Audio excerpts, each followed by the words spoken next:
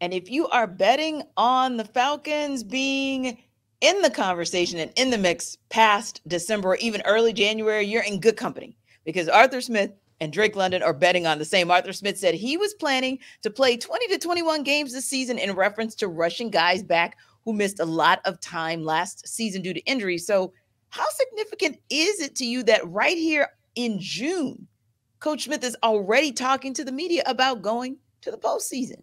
You know what? T, I find it interesting because you know Arthur Smith. He's the type of guy where he doesn't like to reveal anything, like like nothing at all. And a lot of times we find out things that he says or behind closed doors through the players. You know, and a lot of times they kind of like blurt it out. You know, have diarrhea of the mouth and and kind of say to some of the things that he says to them, and, and then you kind of get an understanding of where they're trying to go. But for those words to come out of his mouth and say, you know what, hey, we're looking to play twenty to twenty one games, and you know that's the game. The season is only 17. So, hey, they're trying to get to the playoff season, playoffs and also make some noise once they get there. So I think it's it's very significant because I think that when you look at what they've done in, in this offseason, they they waited around for two years to be able to actually spend some money, and then they sp- spent money on the on the defensive side of the football to get some veterans in because they didn't want to, they didn't like they didn't like the idea of having a young guys being drafted to come in and go through that learning curve. Grady Jarrett even mentioned that uh, the other day when he spoke to the media. He's talking about like, hey, he got somebody in David Onyemata that he knows is going to come in and play right away. You know exactly what to expect from him. So I think that you know when you have that, you built up the defense, you got a defense coordinator that you like that kind of matches your your your style of play and what you want to go with. So now on the offensive side of the football, you established yourself last year. You know, one the top five rushing team in the NFL, and you built upon that. You brought your guys back on the offensive line. You spent the money there. There's a lot of money invested up up, front. So you're going to expect those guys to be better this year. So I think that when you have all of those things coming into play, yeah, I'll probably be confident too, T. yeah, and and when I asked him about the change, just the difference, year yeah. one, year two, and now year three, for him because we always talk about it for the from the player perspective right like right. especially if you're a rookie going into your second year or what have you he responded and he basically went right and i said boy one thing about him is he's straight no chaser even though he Absolutely. doesn't give you a lot when he does give it to you it's going to be direct and he literally said well my expectation is that's going to be different is this is going to be a winning season at home. Yeah. So he said, you know, he talked about the ups, the evens, the downs over the last two years, and he said home field should be home. I, well, I kind of coined this, but he basically said it should be there should be an advantage there. So I was like, yeah, home field should be home field advantage. And so he wants to set that stage and set the tone. And I said, you know, especially coming back with back to back home games to open the season, which is great.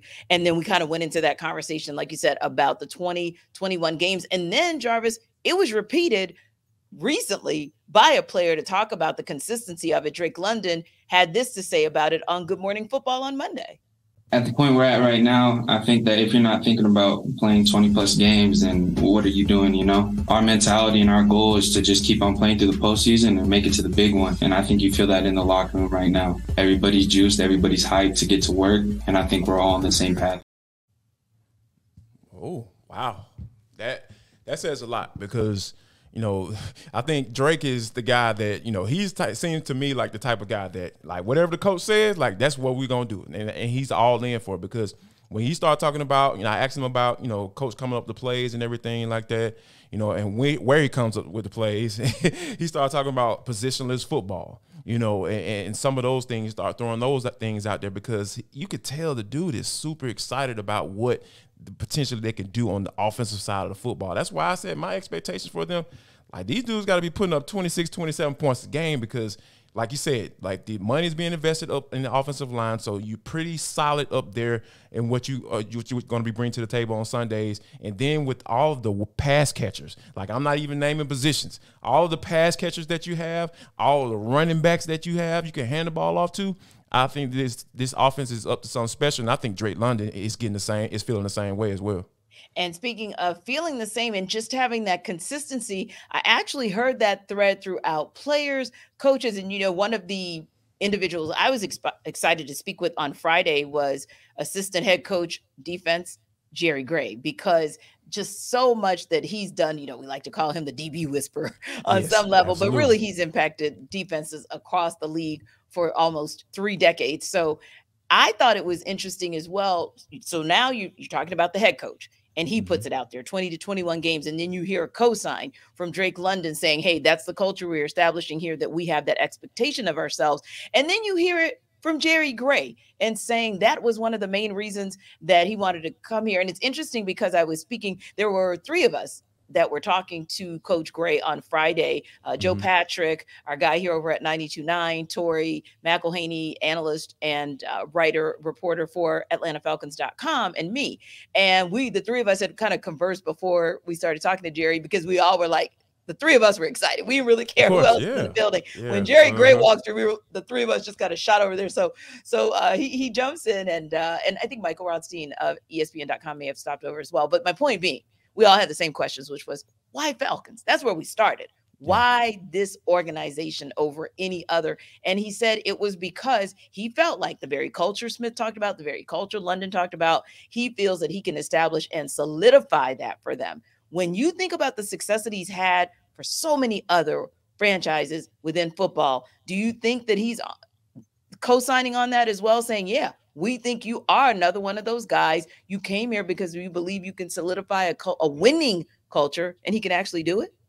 Yeah, uh, I, I think I believe so, and, and and and my main reason for saying that is because you have so many people, different people saying the same thing, right? Because Grady talked about this on Friday about you know there's one thing for you to believe within the organization, right? Arthur Smith believes because he's been here for the past two years. Grady Jarrett believes because he's been here for the past two years and he's seen it. But when you have guys like a Ryan Nielsen deciding to come here to lead the Saints, where he, the organization that he's been with for quite some time, they gave him the opportunity to be able to coach in the NFL and establish himself as a uh, as a prime candidate.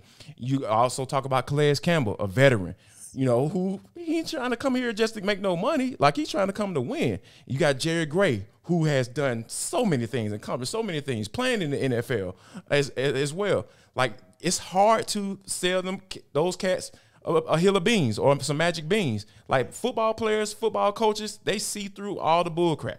And for them to be able to see through the bullcrap and actually see what Arthur Smith has going on here and, and, and essentially say the same thing that Arthur Smith is saying, have been telling us, like, like it's hard for you not to believe because like you see all you see the vision, you see the plan. We talked about Terry Fontenot before the offseason even start, T, about what's the vision, what's the plan, what are you trying to do?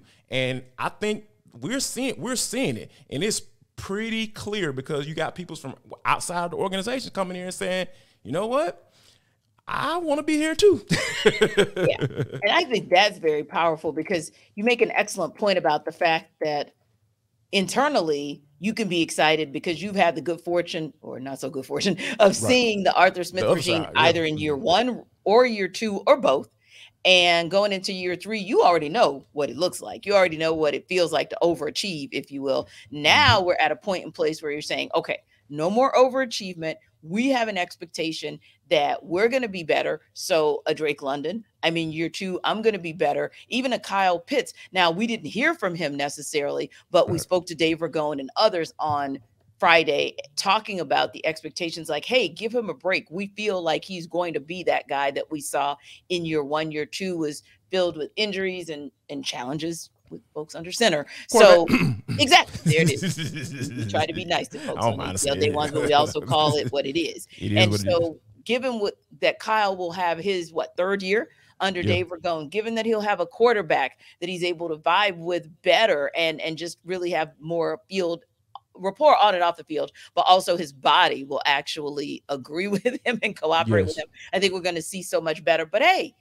everydayers, what are your thoughts on the fact that we are hearing right now on the NBA final side a lot about culture, culture, heat culture, heat culture? What about Falcons culture? What does that culture look like to you? Are you buying in as well? We know it's still on paper right now. We know we haven't even gotten to mandatory mini camp, but at the end of the day, with what you have seen, off-season moves, expectations, attitude, etc. Let us know what you guys think. Check us out on YouTube. Drop some of the comments. You know, if you drop some good ones, we will actually share those comments on air as well. And of course, don't forget that wherever you download every other podcast, you might as well download ATL Day Ones and take us with you wherever you go in and around Atlanta Metro.